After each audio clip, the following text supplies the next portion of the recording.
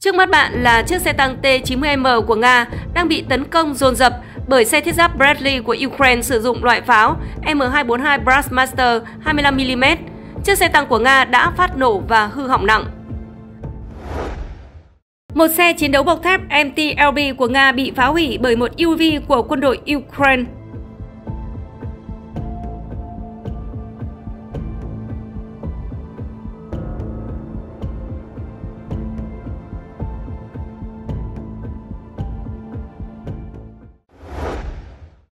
Trong video là chiếc xe chiến đấu thiết giáp BTR-4 Blues Flawless do Ukraine sản xuất, đang phục vụ cho lữ đoàn cơ giới hóa số 56.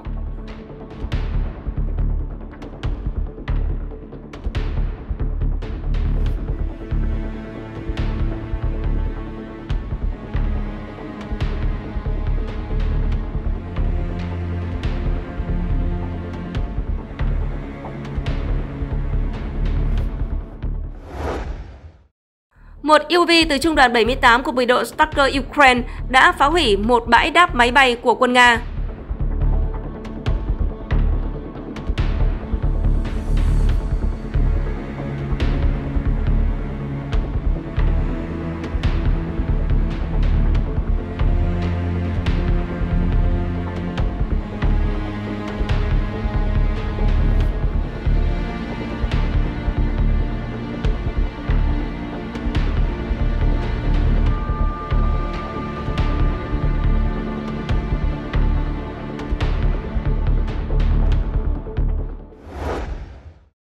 Một xe thiết giáp Nga đang hăng say nã đạn về phía trước, nhưng không ai biết mối nguy hiểm đang rình rập ở phía sau.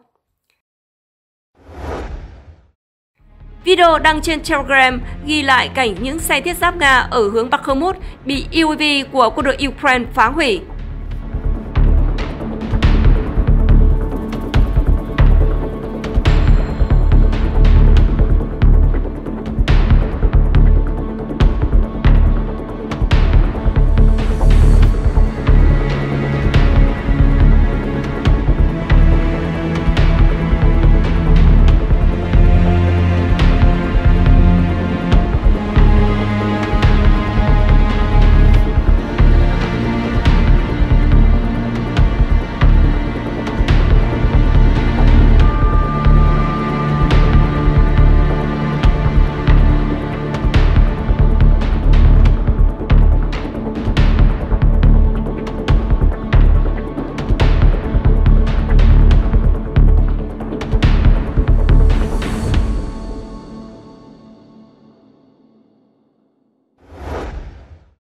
Một chiếc xe bán tải của quân đội Nga bị UAV của đơn vị Signum Lữ đoàn 93 Ukraine tấn công.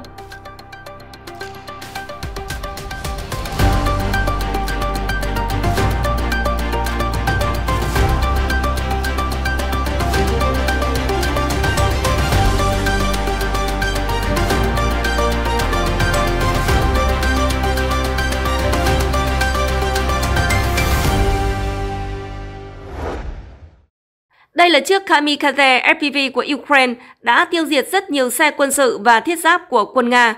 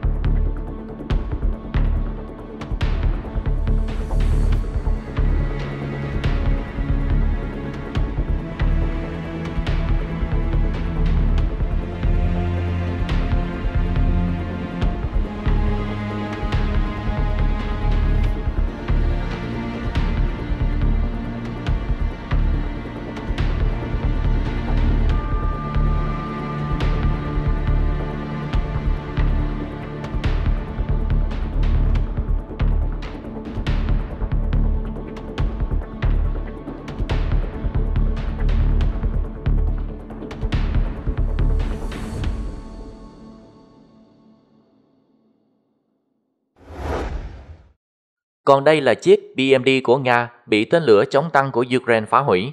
Quan sát kỹ sẽ thấy một người lính nấp dưới một cái hố phía trước con đường chiếc xe đang đi. Khi bắn phát đầu tiên không trúng, có lẽ người lái trong xe không phát hiện và vẫn cho xe lao tới. Đợi khi đi tới sát bên thì người lính này cho thêm một quả lựu đạn nữa và thế là xe thiết giáp của Nga nổ tung thành đám khói trắng. Những người lính Nga phía sau thấy vậy đã bỏ chạy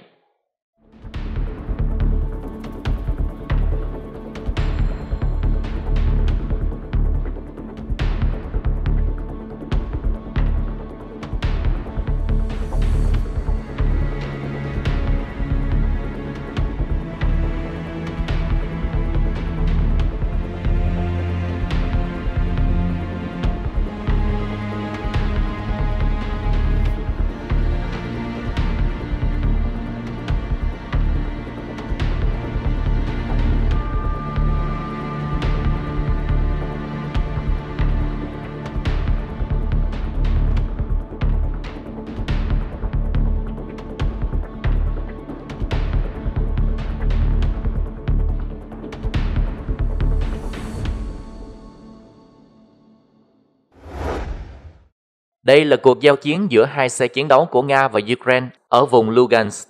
Cuối cùng, chiếc xe của Nga đã bị nổ tung.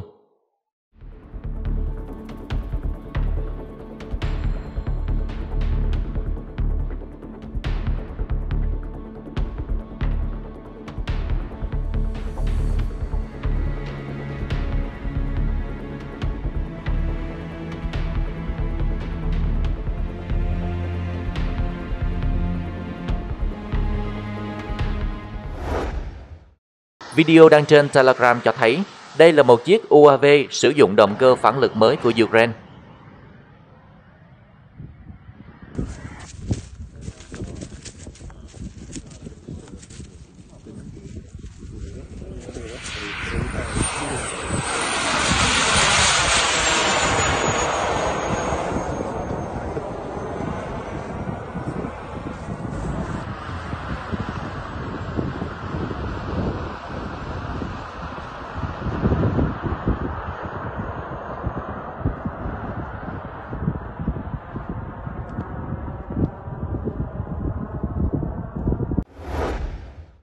Và đây là hình ảnh những chiến sĩ của lữ đoàn Azov bị thương sau những cuộc chiến ở Serebrian, tỉnh Donetsk.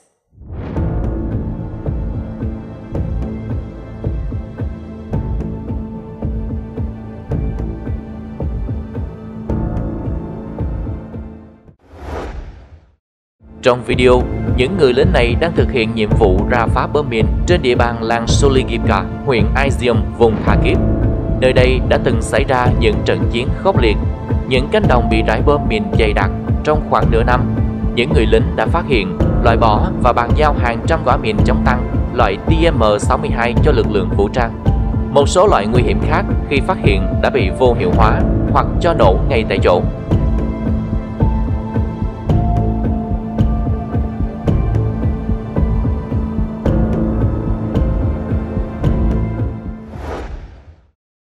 Đây là tên lửa siêu thanh Kinzo chưa phát nổ ở vùng Kairovorak và được quân đội Ukraine thu gom.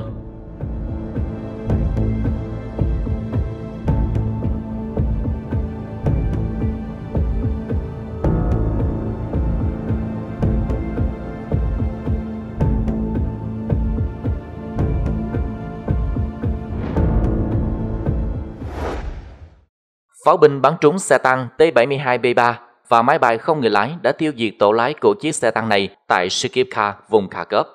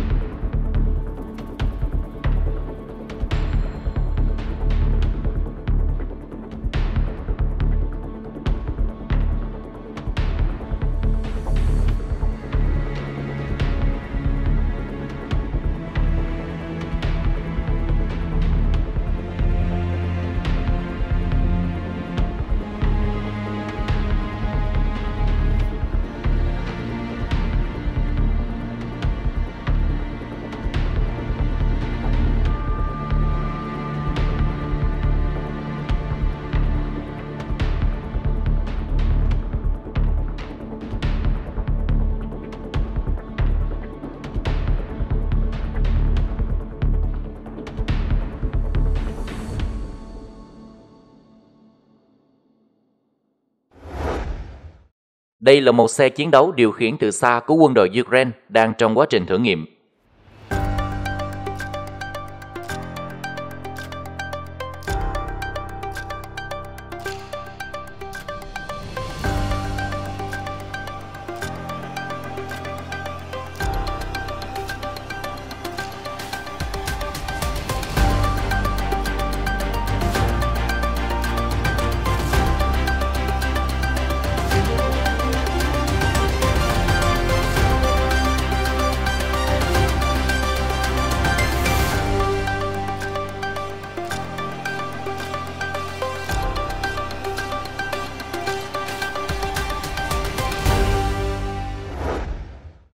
Video được người phụ nữ này quay lại, cảnh mình mặc trang phục chiến đấu. Tinh thần kháng chiến trong những người phụ nữ Ukraine cũng không thua kém gì nam giới.